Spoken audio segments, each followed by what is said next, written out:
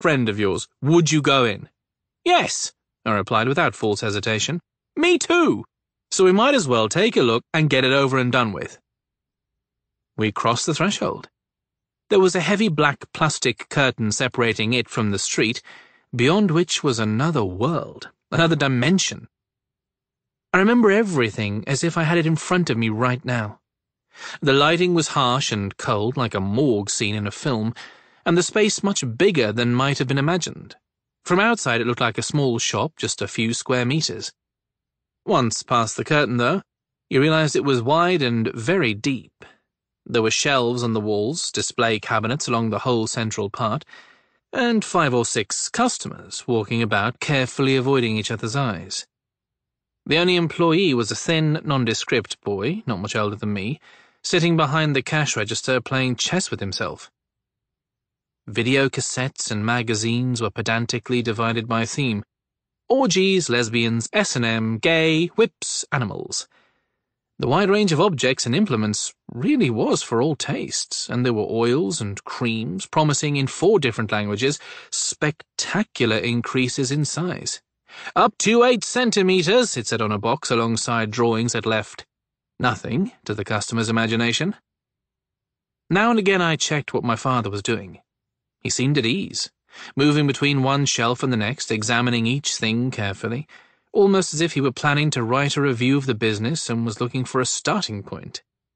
At one point, he picked up a whip, a cat o' nine tails to be precise, and tested it by hitting himself gently on the forearm. At the far end of the room was a line of booths. I went closer to take a look.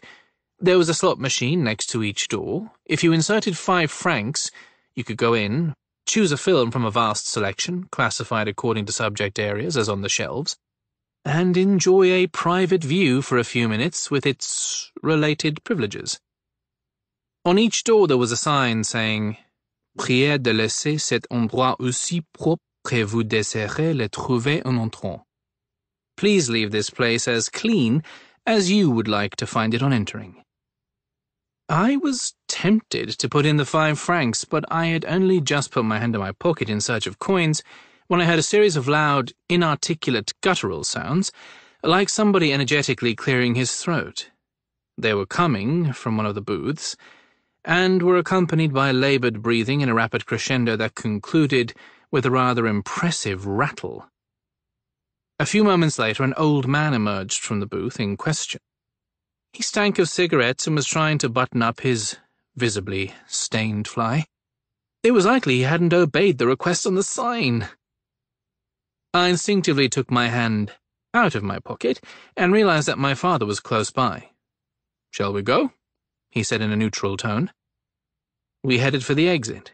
The chess playing assistant didn't deign to look at us. I wondered how they managed to check if people were stealing. For a while we walked in silence.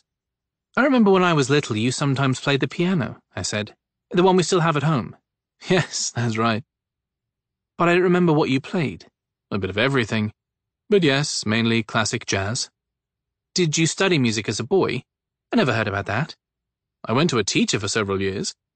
But I learned to play what I liked only when I stopped taking lessons. In my university years, three friends and I put together a group piano, drums, bass, and sax. We earned a bit of money playing in dance halls or at weddings. It was fun. For years, we even talked about making a record of our own. Then we graduated and we each went our way, which didn't involve music. Did you compose? Yes, we wrote a few pieces. Two or three were actually quite good in my opinion. Uh, how long is it since you last played? Every now and again I still play a little. But where you live, you don't have a piano. He shook his head, still walking. So, Uh, how do you manage?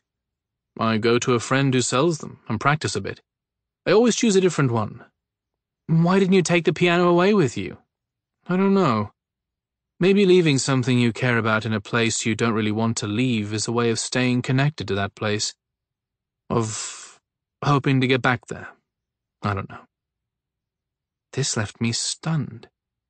If he had decided to leave my mother and me, what did these words mean? I didn't ask him for any other explanation. I would have had to bring too many things out in the open, and I couldn't. I wasn't ready. What kind of music are you interested in? My father asked. Eh, I'm not a great fan.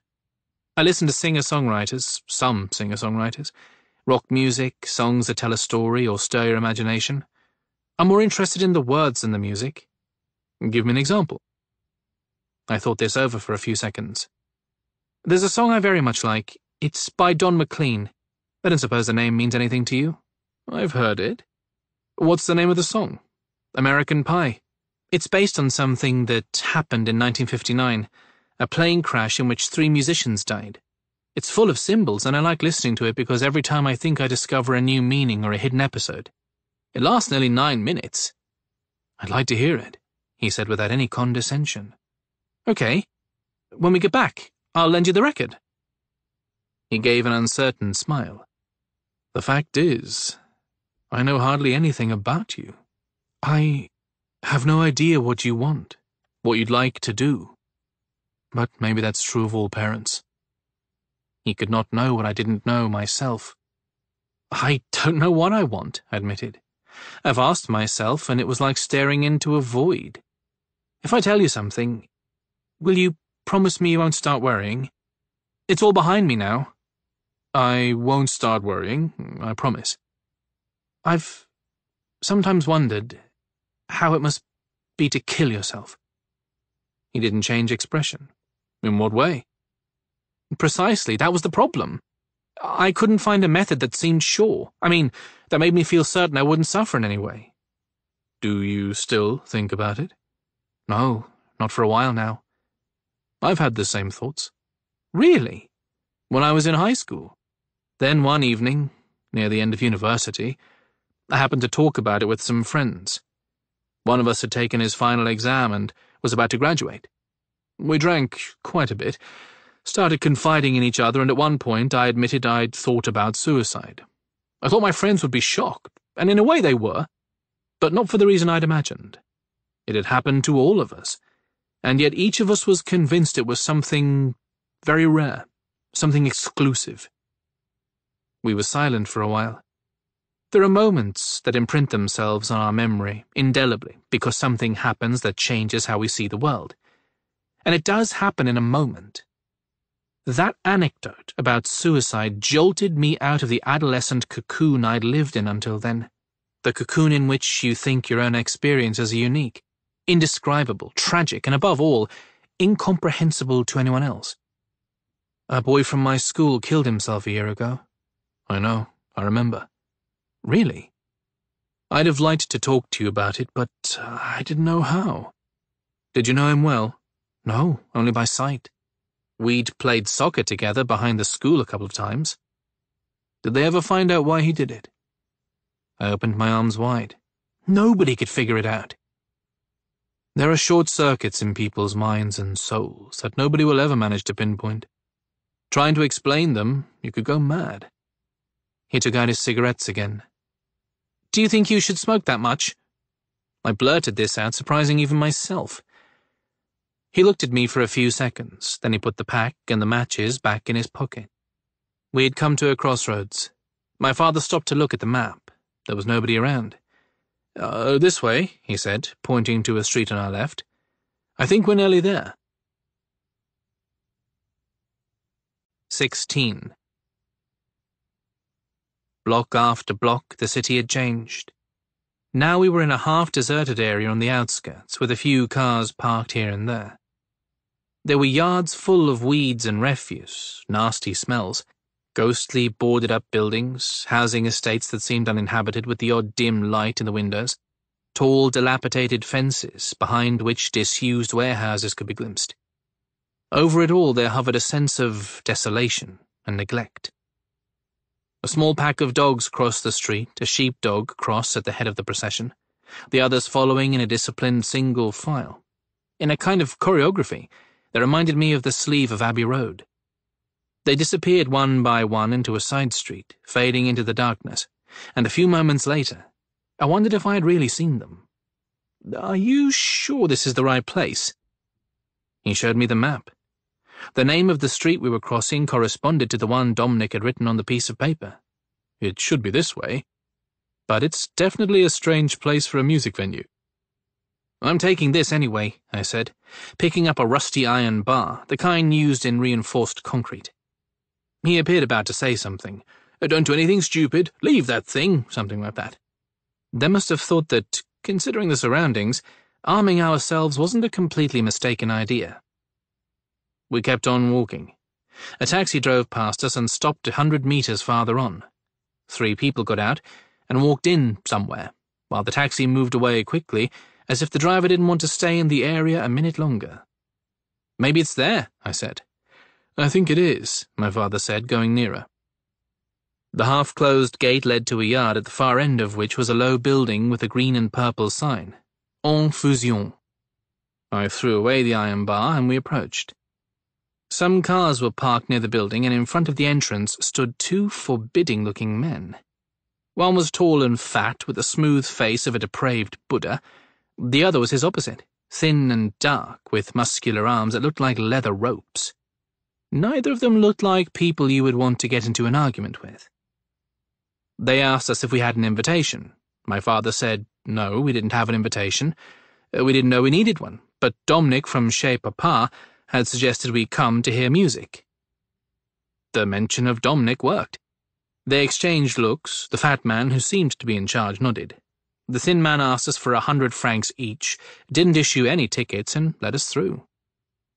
It was a large space with not much light and a lot of people. Wide open windows, a smell of cast iron, smoke, and bodies. On one side there was a bar with a wooden counter and sawdust on the floor all around. On the other, up against a wall of time-worn bricks, a bandstand onto which the musicians were climbing at that very moment. Dad lit a cigarette. Strange place, isn't it? Yes, it is. I'll have a drink, but maybe it's best if you. Me too. Gaston said I should do everything a normal 18 year old would do, and we have to follow doctor's orders. My father raised his hands in surrender. We went to the bar and ordered two cocktails, perroquets they were called, made with pastis, green mint syrup, water, and ice. The kind of cool, pleasant drink you knock back like certain drinks you had as a child, and which before long muddles your brain and makes your legs shake. I looked at the people. They were all older than me, but there were lots of girls.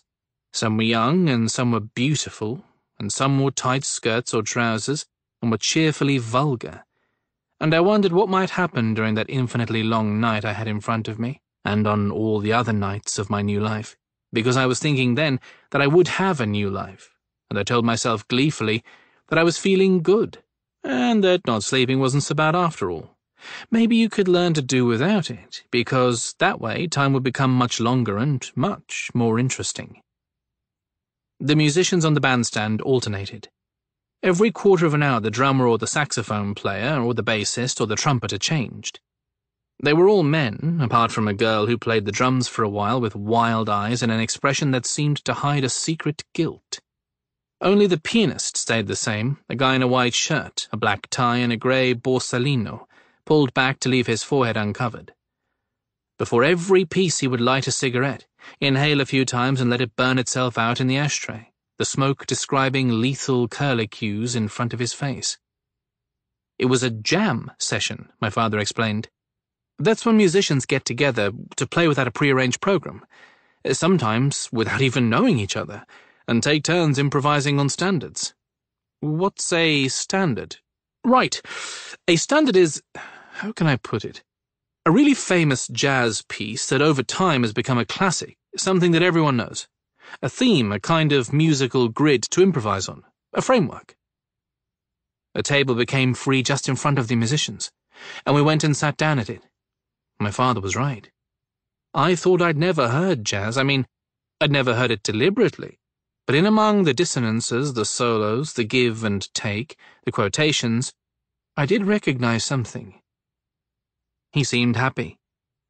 I can't find a less banal word to describe it. Whenever they launched into a new piece, he would mention the title and the composer. Then he would listen, rapt, keeping time, nodding his head at the most successful passages. Now there were four people playing piano, drums, bass, and trumpet. The drummer had long grey hair, tied in a bun, and kept looking around as if searching for someone who wasn't there. He was sweating a lot, and now and again would wipe his face with a towel. The guy who was playing the bass was tall and handsome, looked straight ahead, and seemed shy. He had his arms around the instrument like a bridegroom hugging his bride in an old photograph.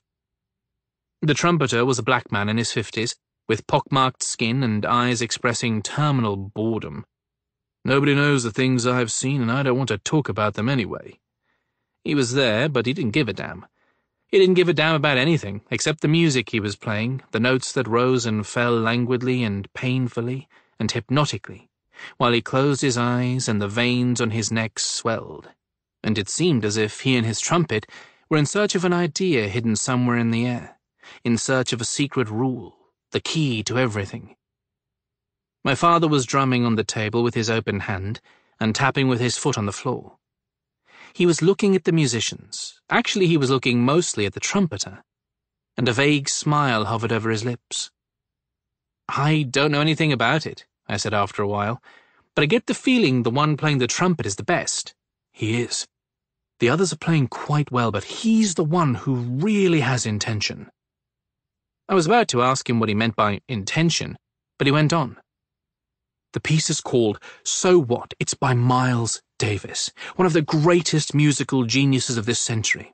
Actually, we can leave out of this century one of the greatest musical geniuses of all time, someone who changed the history of music.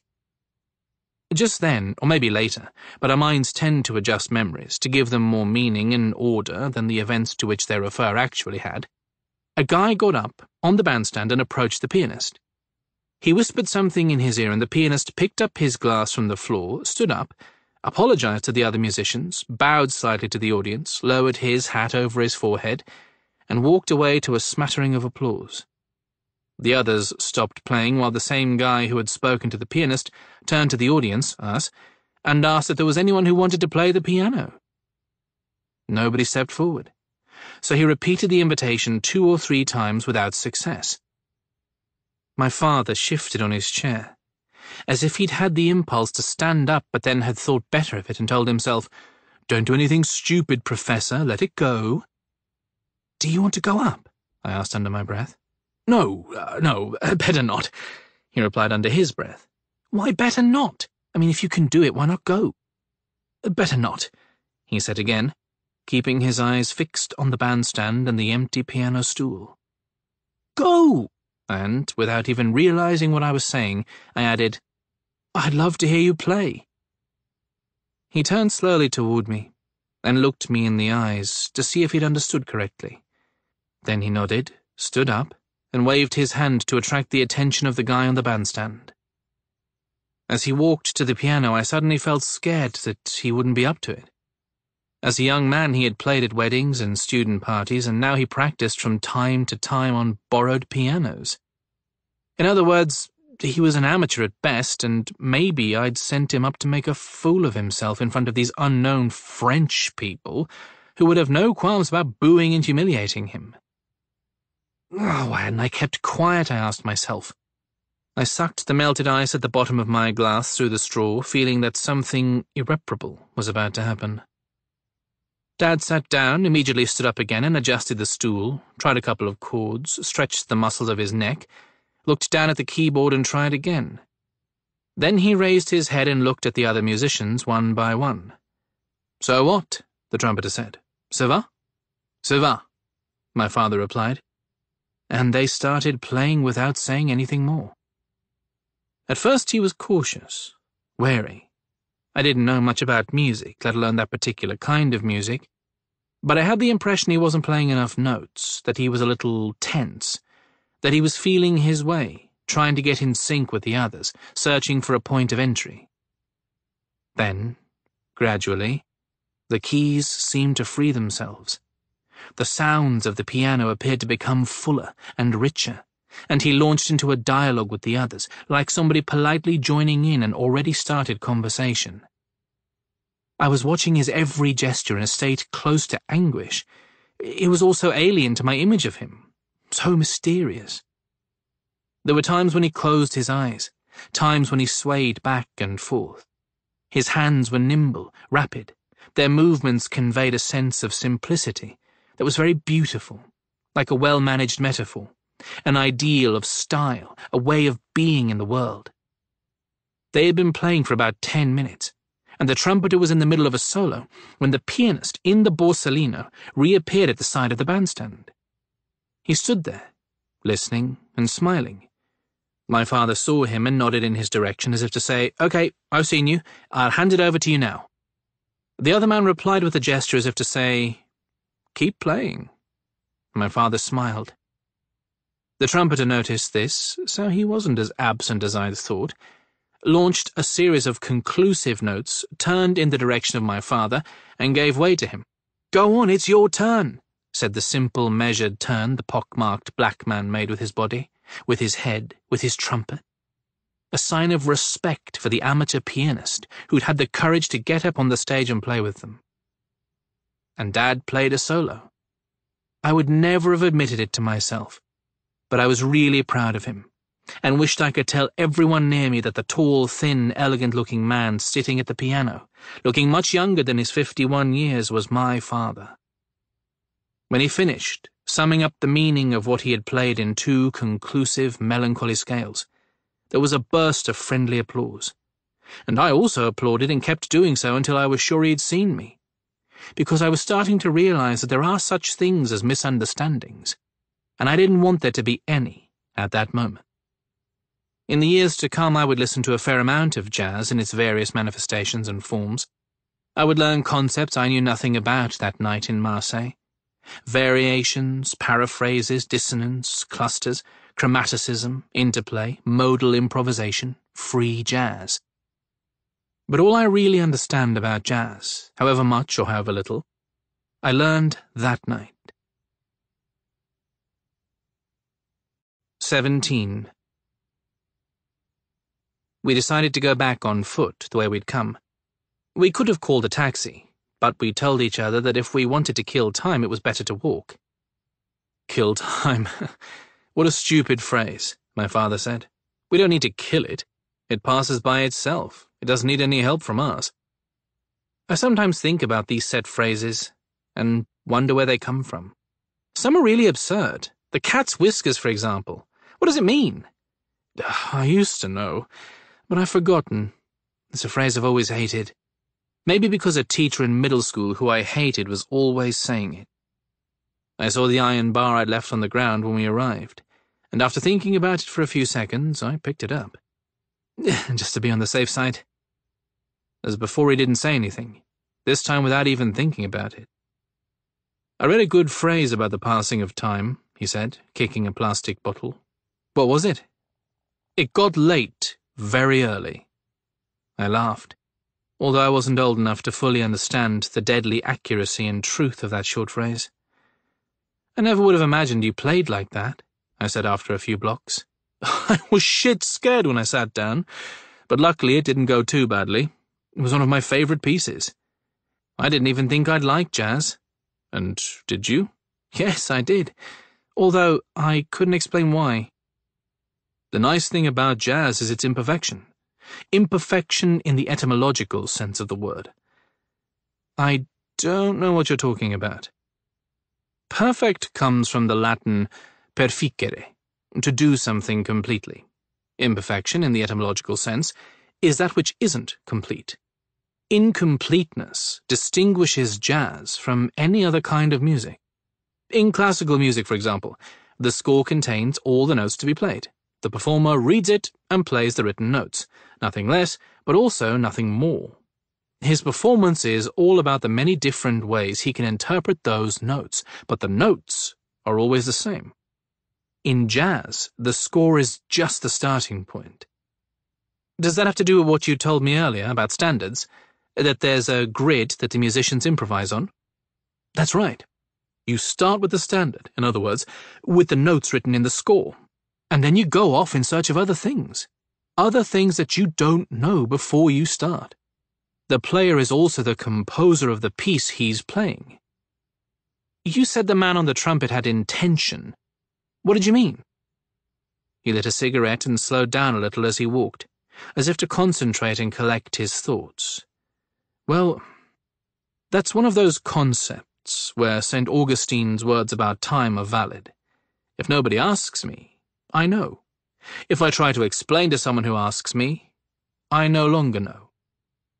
He finished his cigarette before he resumed speaking. Let's put it this way. Your intention is where you want to get to when you're playing a piece, or rather, to be more precise, it's where you want to get to, but also how you want to get there. It's the destination, but also the route.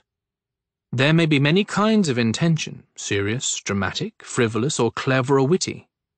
I can't explain it any better than that. The trumpeter seemed very serious. He was very serious. We passed a guy in pajamas with a big mastiff on a leash. Man and dog looked at us suspiciously. It was obvious we didn't belong in this place.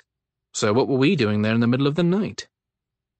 Speaking of time, I looked at my watch and wondered if he was taking the dog for its last walk of the night or its first of the morning. How are you? My father asked me after another few blocks. Fine, and you? I'm fine too. I don't feel tired at all. It was 2.40. We were walking quickly, and were both wide awake and in a good mood. In a way, I was starting to grasp the mysteries of the city in which we had been moving for many hours now. It was as if I sensed its hidden spaces, its secret lives, the windows where people's silhouettes passed for a moment and disappeared forever. I glimpsed in the broken lines of those streets the hidden code of my present life, and above all, my future one. Dad's eyes were slightly blurred, his expression intent but also light. What do you think? Are we lost? I asked him. I think we are. Shall we check the map? What does it matter? He replied with a hint of carefree madness in his voice. After all, we don't have any commitments. I looked at him for a few moments to see if he was being serious. He wasn't being serious, but nor was he joking, I concluded. Somebody said that losing your way in a city doesn't mean much, but getting lost in a city, the way you would get lost in a forest, is something you have to learn so we tried to learn how to get lost. Before long, we were gripped by an inner fever. We were thinking differently, seeing things, inside and outside ourselves, we would never otherwise have noticed. Sometimes I wonder what it really means to be free, I said out of nowhere. I don't think there's such a thing as freedom without a certain element of risk, of insecurity. Freedom is an uncertain balance. It's being a little out of place, I like the idea of feeling out of place. Your mother and I said that many years ago. Then several minutes passed in which all that could be heard was the slight whistle of his smoker's breath, the muffled noise of the occasional car that passed us and disappeared, the sound of our footsteps. It looks like there's a bar open over there, I said, seeing a lighted sign in the distance. Let's go and have a coffee. Okay, but leave that thing outside, he said pointing to the iron bar, which I was now carrying casually, like a service weapon. If we get into an argument, it might be better to trust our dialectical talents. 18. The place wasn't welcoming. The light was cold and harsh, and on the walls were posters of soccer players from both Olympique Marseille and the French national team, and other posters of guys in shorts and boxing gloves kicking each other in the face with the words Savate Championnat National Francais, 1981, or something like that. On a high shelf next to the posters, a number of cups were on display. Behind the filthy old wooden counter with its marble top was a man my father's age, who looked like a slum version of a Hanna-Barbera character, a slightly surly Ranger Smith with a three-day stubble. On one side of the interior, there were a few metal tables, which must once have been blue. At one of these, three guys were sitting. In front of them, they had little glasses containing an amber liquid. They were smoking big, unfiltered cigarettes and arguing in loud, animated voices. Seeing us, they fell silent for a few seconds. My father asked the barman if we could sit down, and he nodded, and, in an obvious effort at politeness, even gestured with his hand toward one of the free tables. We ordered two coffees. The barman asked if we also wanted a splash of pastis in them. My father thought about it and said it was better not, adding that we had to stay awake. For some mysterious reason, Ranger Smith liked this answer, and even almost smiled. Dad, I was thinking, I'm the one who has to stay awake. Why don't we go back to the hotel and you sleep a little? I'll read. I feel fine. No. If I don't keep an eye on you, you might fall asleep too, and we'll be back to square one. I was about to say something in reply, but he continued. And anyway, I don't feel like sleeping. I like staying awake. I've always thought of sleep as a duty.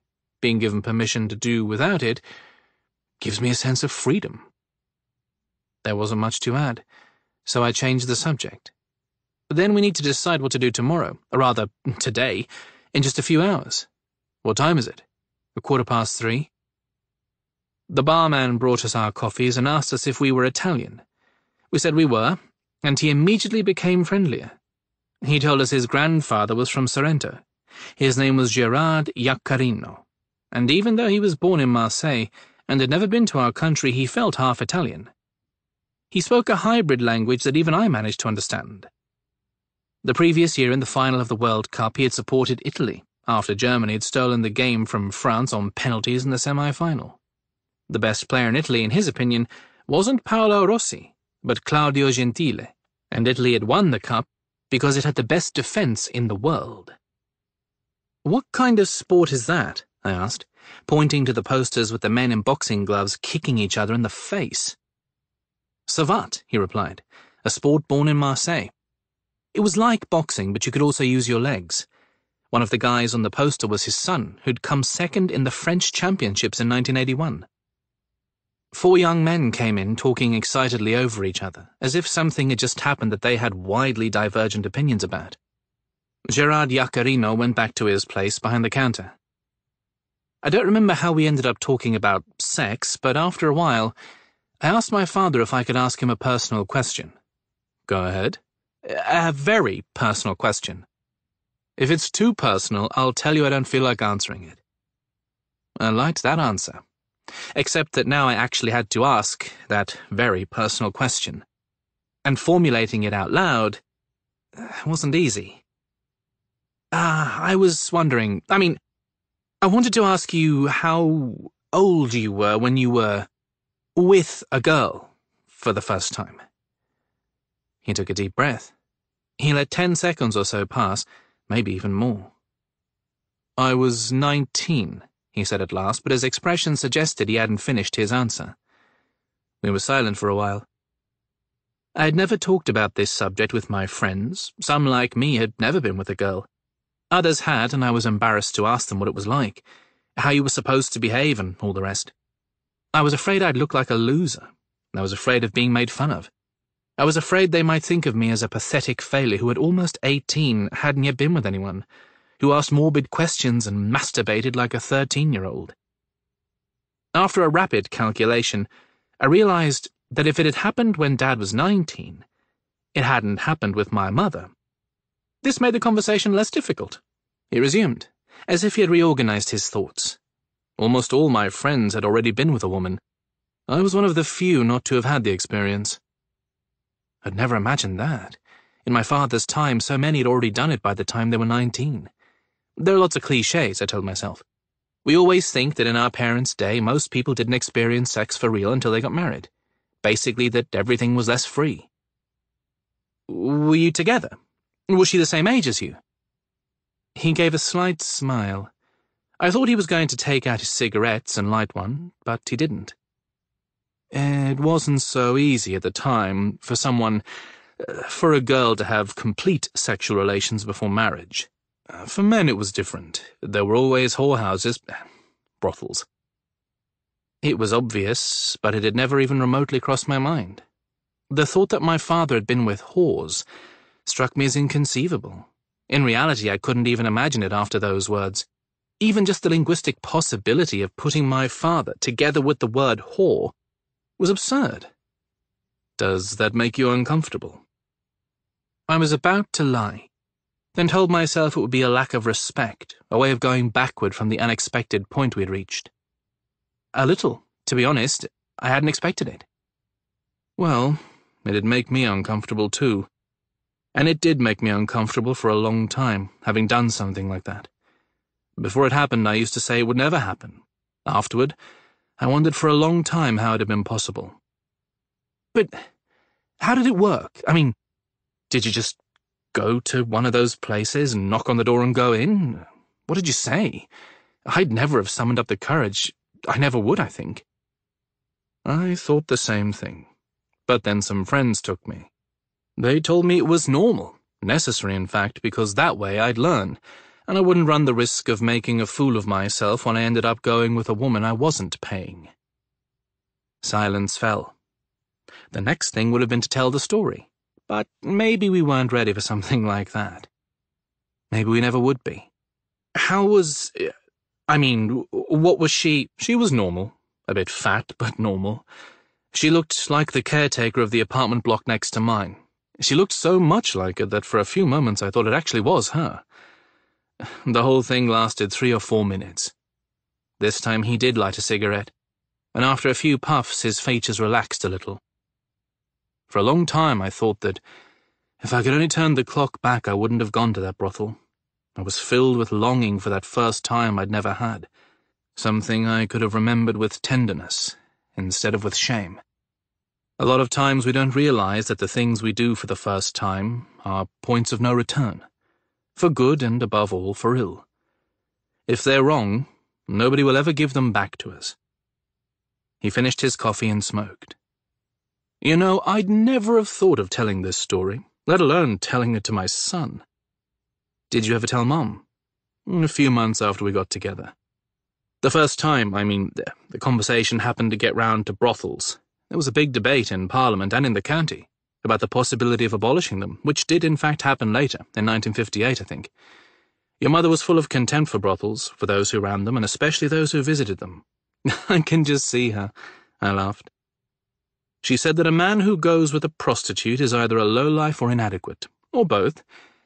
I tried to say that was a bit simplistic, a bit too tranchant. Lots of men, for generations and generations, had had their sexual initiation, let's call it that, with an older woman, a governess sometimes, or indeed a prostitute. Did that mean that all of them, generation after generation, were low lives or inadequate, or low lives and inadequate? What did she say to that? Obviously, there was no way not just to convince her, but even to get her to soften her position. You know better than I do how severe she can be in her judgments. Anyway, at the end of the conversation, I said, as usual, that she was perfectly entitled to think the way she liked, but that to me, it seemed perhaps a bit too drastic. You needed to see shades of grey. I didn't like the idea of women's bodies being treated like merchandise either. Still, I didn't share her extreme views, things like that. Basically, I tried to maintain my position, but I couldn't wait to change the subject. I don't think I would ever have told her about my experience anyway. But that conversation made it impossible to ever bring it up. I knew what he meant, especially when it came to certain subjects. Mom didn't go in for shades of grey, and could be very harsh. I was well aware of that. And yet the way Dad was telling me this story offered a new perspective, not only on him, but on him and her. On the balance, or lack of it, in their relationship, uh, the power struggle between them. Antonio? Yes? Don't tell her the story. I don't want her to know. I'd never do that. I know, but I thought I should say it anyway. If a week earlier, or even two days earlier, anyone had told me that my father had been with a prostitute, I would have been disgusted. Now, though, I couldn't work out my feelings about that revelation. I felt a mixture of surprise, curiosity, and something like tenderness. I was very confused, and he had fallen silent. Then I realized that he was waiting for me to reciprocate, to tell him something about me. I've never been with a girl. I mean, I've never had complete sex. Sometimes I think it'll never happen. It'll happen soon, and then your current worries will seem very strange. He lit a cigarette. Have you ever smoked? I've never touched a cigarette. When did you start? Ugh, we all smoked when we were kids, including loose cigarettes.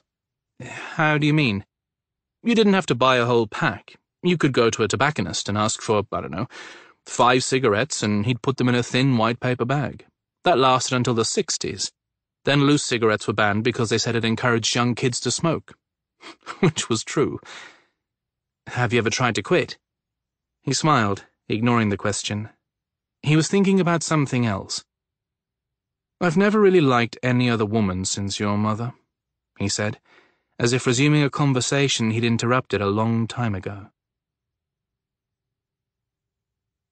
19. One day I'd heard my parents talking about a colleague of theirs, a university professor, an important one, a rector or a dean, who had left his wife for a female student. You know those occasions when adults talk, convinced that the children can't hear them, and that even if they do hear them, they won't understand what they're talking about?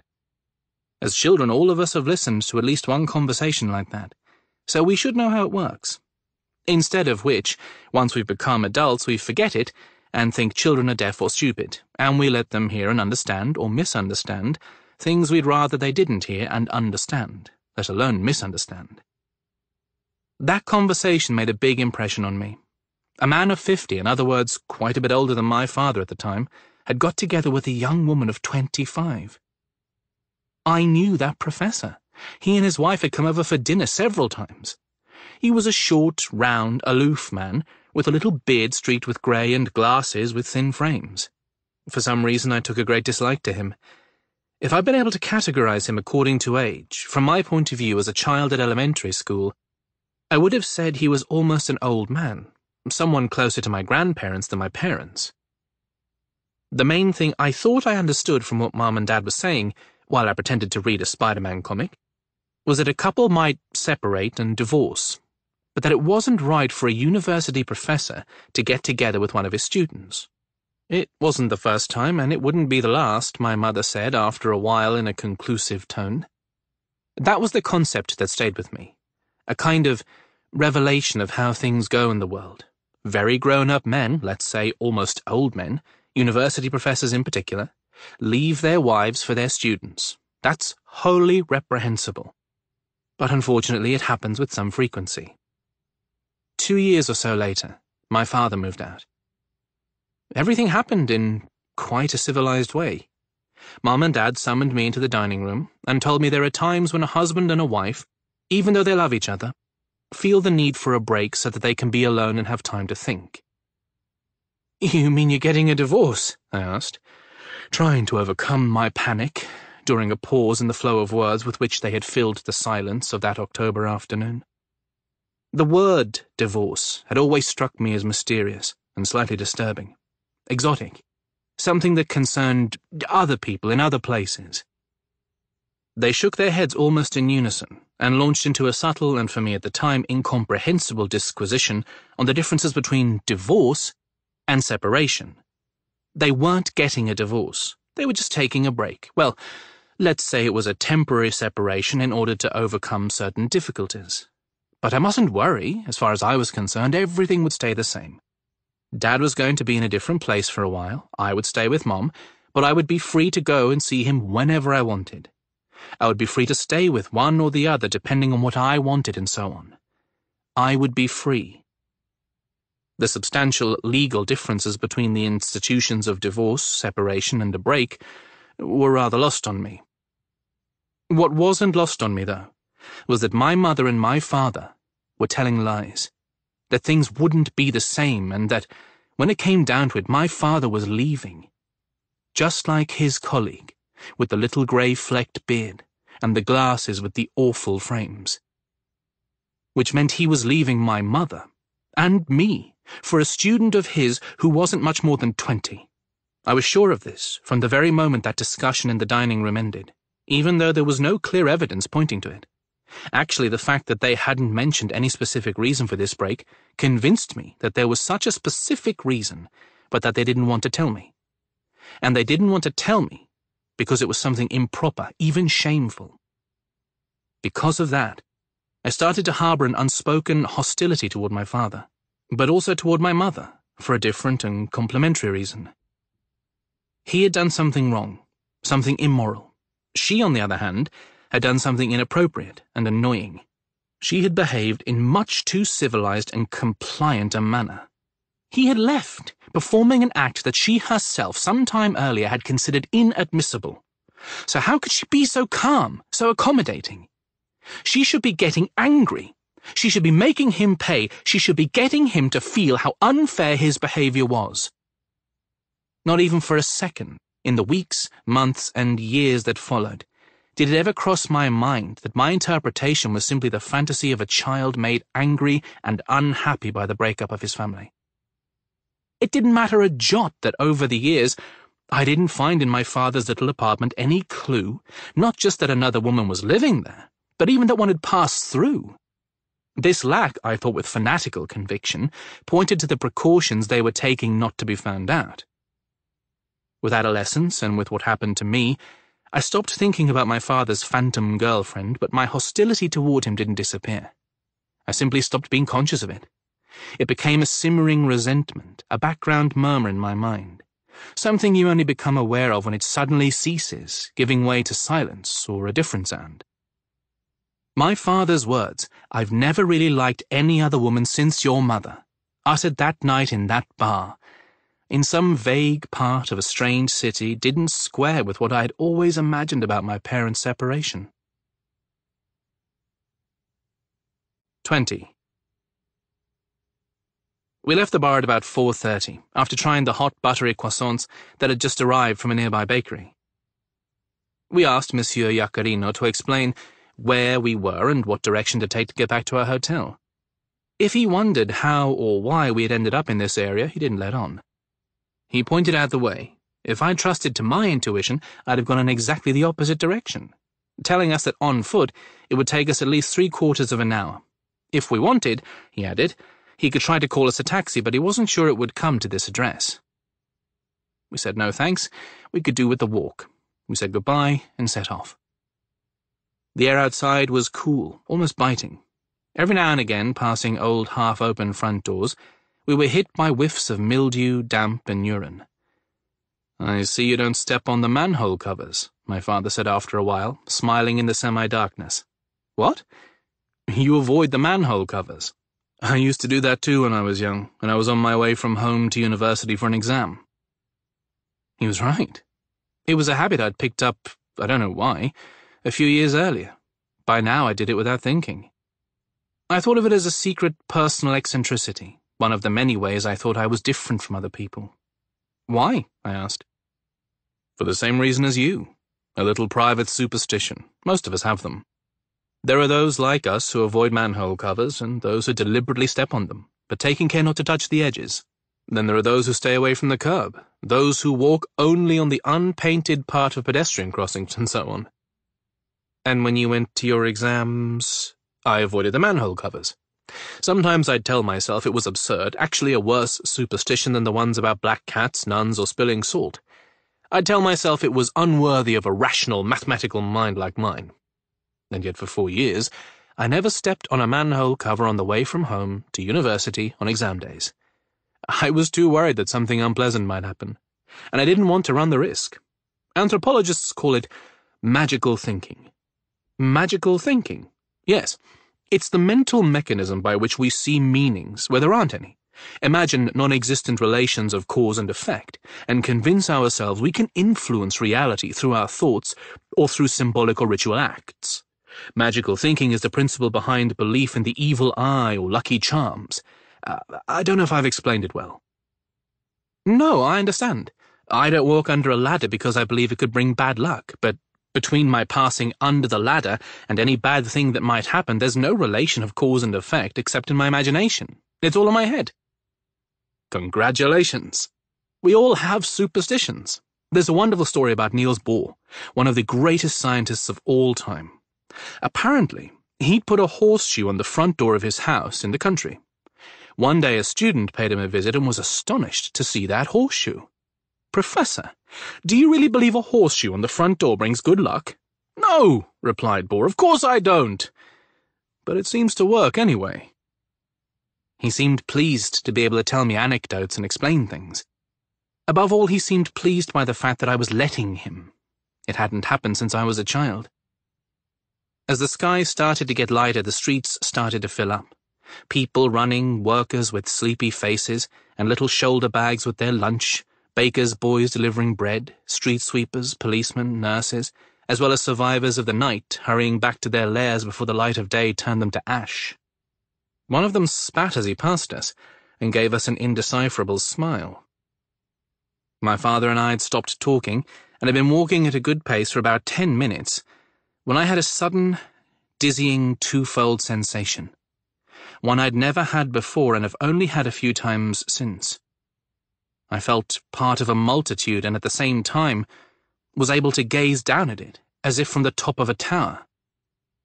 People, more and more of them as dawn advanced, swarmed through streets and alleys and avenues and squares, joining and dividing and describing shapes in perpetual motion, like some flocks of birds in the sky.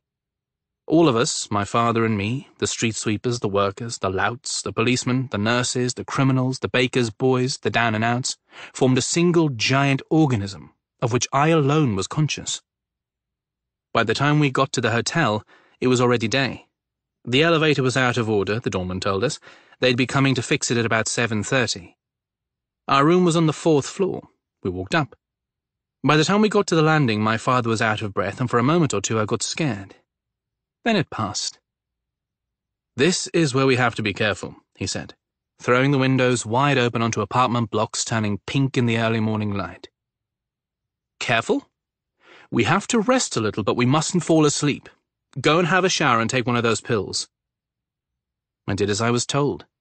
The warm water was pleasant, and when I finished, I took the pill, even though I said I didn't need it, because I felt fine and had no desire to sleep and I was impatient to go out again to see what adventures the day that was starting had in store for the two of us, my father and me. While he went to have a shower and a shave, I took out my Walkman and one of the mixtapes I'd made especially for the trip. I can still remember the playlist, the way we remember the members of the soccer teams we supported when we were kids.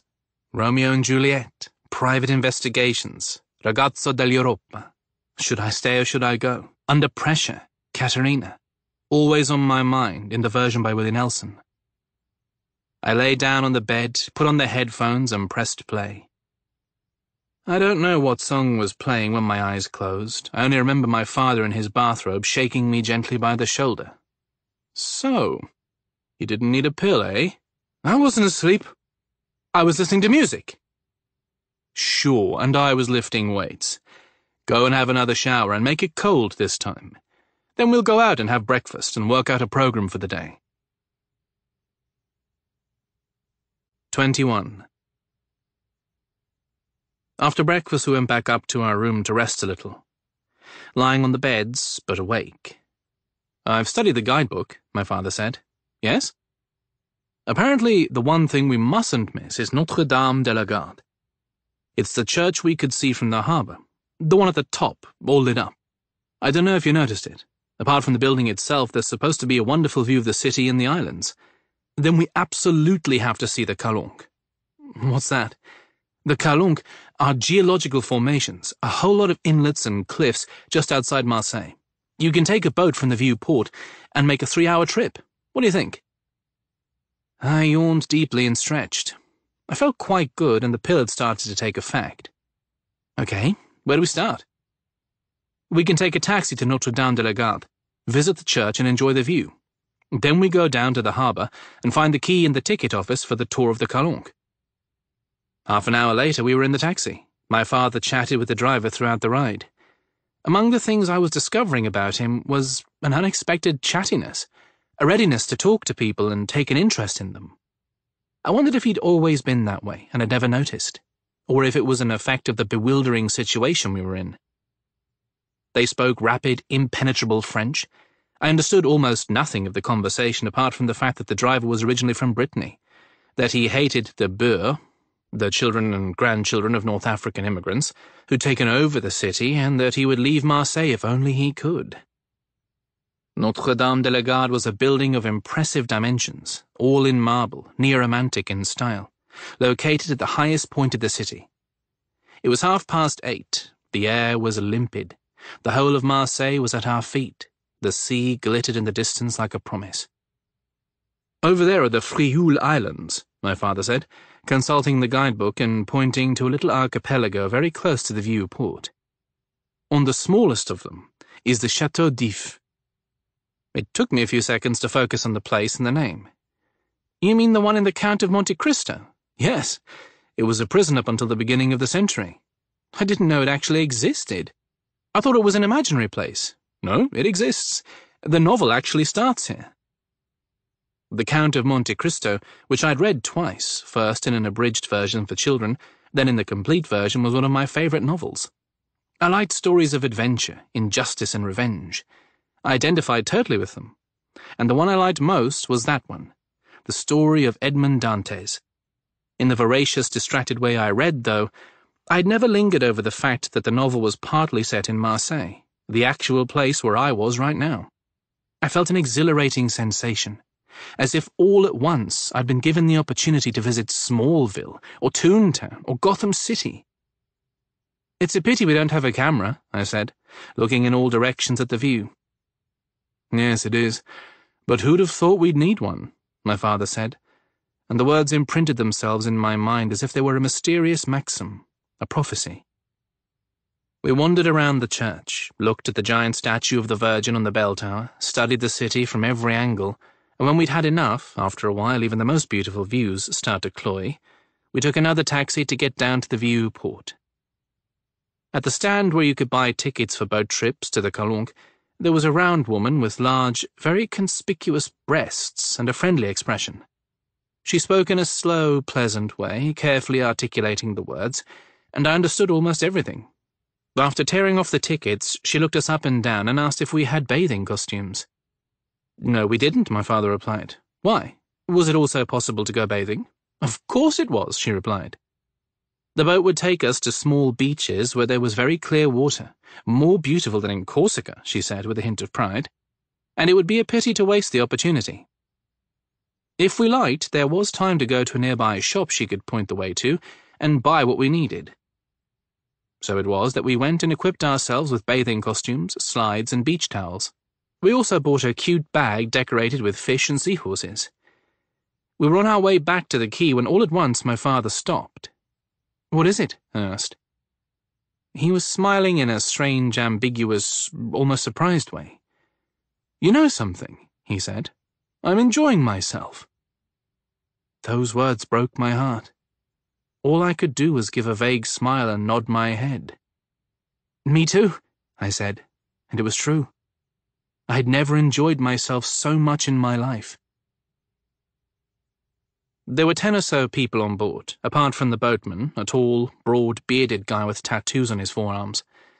There was a French family, father, mother, and two silent children, and a group of German women tourists, all dressed up as if they were going for an excursion in the woods. We changed in the boat's small cabin, putting on our Marseille bathing costumes with a degree of pride. The sea was calm, with very slight ripples on which the sunlight produced a constantly changing glitter that, for some inexplicable reason, made me think of eternity. Who'd ever have thought there were such beautiful places in Marseille? Practically in the city, my father said, after we'd been sailing for half an hour, observing the white and ochre cliffs plunging vertiginously into the sea. He was wearing dark goggles over his usual glasses, a device that went back to the days when acquiring graduated sunglasses was a luxury. With such an old-fashioned accessory, his white shirt and his bathing trunks, he looked like a character from a 60s film. He was right. The coast was breathtakingly beautiful. The intense blue of the sky drew, for whoever was capable of seeing them, upside-down shapes that wedged themselves between the pointed tops of the cliffs. Some rocks seemed to defy the force of gravity. Huge boulders atop edges or points, in perfect but precarious balance, like the images in some cartoon films.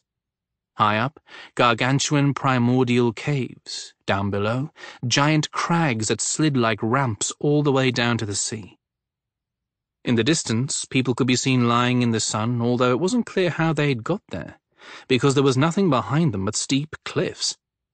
My father asked the boatman, who replied that there were paths, but you had to know them really well because they were steep and dangerous, and more than once inexperienced hikers had fallen from the cliffs to their deaths. In some places we passed so close to the walls of rock that we could touch them with our hands. They were hundreds of meters high and aroused an almost religious sense of reverence. We'd been sailing for more than an hour, and the sun was beating down when we entered a small calanque, where the sea was green and transparent. The boatman cast anchor and said that whoever wanted to could bathe. We dived in from the stern, almost simultaneously, feet first and holding our noses with our fingers.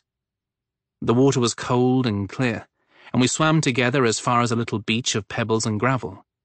We turned back when the boatman waved at us, signaling that we had to leave again. I'd been a small child the last time my father and I had been to the sea together. The Calanque of Morgiou, which was bigger than the others, had a marina with boats and a little fishing village. My father asked if we could take a walk on land. The boatman replied that it wasn't part of the schedule, but if we liked, he could let us off, and two hours later we'd be able to catch the next boat.